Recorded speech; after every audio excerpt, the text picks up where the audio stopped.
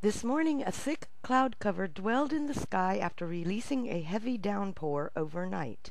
It's Sunday, June 3rd, 2007. Spring according to the calendars that govern the island. And here's your monthly and annual totals.